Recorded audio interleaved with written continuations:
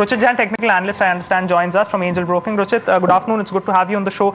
Uh, we've spent a lot of time beneath the 8200 level in today's session. This wasn't seen in, in those sessions where we have had a sessions where we have had we've recovered above 8200 do you think the risk of reverting to something like an 8100 and 8150 are more live now yeah, good afternoon. Uh, overall, we have seen in last two, three trading sessions, uh, markets have been resisting near this 8300 mark. Now, if we observe the positional charts of Nifty and Bank Nifty, then uh, these levels are quite a good uh, acted as a resistance areas in, in the past. Uh, somewhere in May 2015, uh, around 8300, 8330 was the high from where markets had corrected significantly. And after this recent up move of last two, three months, we have already retraced 61.8% of this entire corrective move from 9120 to 6800. So that's a quite a big uh, resistance zone over here. So uh, hence we are seeing such profit booking on every rise whenever the market tries to go uh, near the 8300 mark. So on uh, on the lower side, if we see, then on uh, on uh, hourly charts, a good support is placed around 8140, 8150 range. So we believe that 8140, 8150 would be the crucial level to watch whether the index sustains, uh, uh, is able to manage those levels or not. We're seeing in the markets right now, and what you said about the range uh, and the levels that we should be watching out for. what are some of the opportunities you're sensing? I think till this uh, 8140, 8150 is not breached, uh, I don't think that one should uh, be bearish and go short in uh, in, the, uh, in the index. In fact, at lower levels, some of the stocks uh, which have recently outperformed that uh, they could uh, give a good opportunity to create long positions over there. Specifically amongst the large cap stocks, we are keenly watching Coal India amongst the heavyweights. Uh, which had given recently given a breakout from a long consolidation phase. So where which is uh, usually an accumulation whenever some breakout of consolidation phase is seen. So one should not be too much eager to go shorts at current levels just because the markets have seen some uh, profit booking from higher levels. 8140, 8150 would be the crucial level support level from where some bumps again could come, and definitely around 8300 some supply zone would be coming in.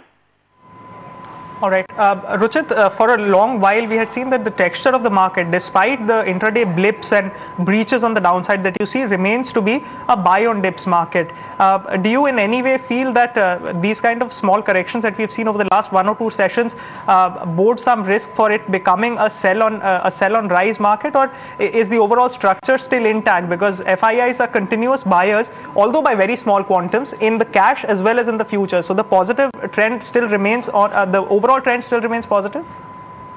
Yes, definitely the overall trend still continues to remain positive. Uh, generally, usually when we see you know some big reversals happening, we see some reversal patterns getting formed uh, at the top. As of now, Nifty, Bank Nifty, although they have seen some sort of correction or resistance at higher levels, but we have not seen any sort of such reversal patterns getting formed.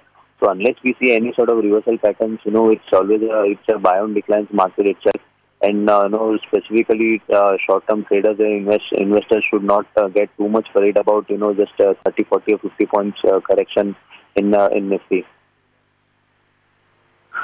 Ruchit, uh, just a quick uh, check with you because we understand the Tata Group stocks have uh, been a major uh, losers really on the Nifty today. What are your views on Tata Motors, Tata Motors DVR? really give us a sense as to how you're thinking there. From short-term trading perspective, the stocks have uh, already rallied significantly from their lows. Even uh, if we see the recent last one month, and they have already significantly higher from the lower levels. Tata Motors, which was around 380, 390 zone. So uh, definitely the momentum readings are overbought and are showing some sort of correction. So I am sensing some sort of profit booking to uh, come in Tata Motors.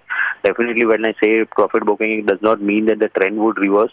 It would, uh, the overall structure has remained positive, higher top, higher bottom formation is place and recently we had seen a good gap of opening around 420, 430 levels. So any corrective move if the stock comes back to 420, 430 range, that would be a buying opportunity uh, over there.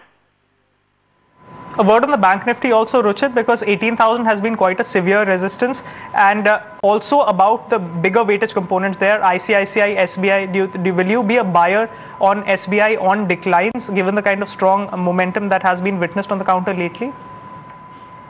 Bank Nifty at current levels, they won't recommend you to go long. Uh, if we observe the weekly or monthly charts in the Bank Nifty, And October 2015, we had seen the highs of around 18,000 levels from where uh, the from where the index had then corrected uh, to sub 13,500 levels.